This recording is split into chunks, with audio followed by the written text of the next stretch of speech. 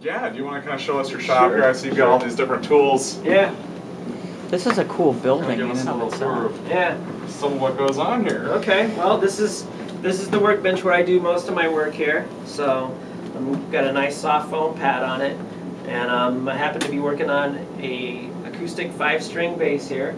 That's getting a new um, nut installed, and then um, over here, this is where I do a lot of the electronics work. This is where I have my soldering iron and my meter, um, a lot of electronic parts.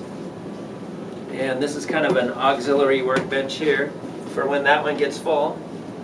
And then over here, these are where the power tools are.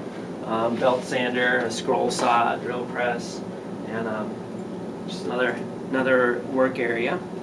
Um, over in this corner here, this is where I give lessons, over by the guitars. And then uh, we can move we can move over here to the display cases.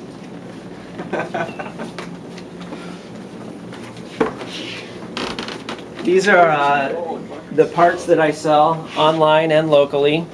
Um, you can see a couple of the bodies here, guitar bodies, for the guitar building class that's coming up on the 31st.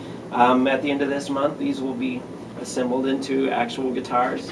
And over here we have some of the necks and electronics and hardware. And uh, over here, we have, uh, I'm a Gator case dealer. So if you need a case for your guitar, either a hard shell or a soft sided case, I'm a dealer for those as well.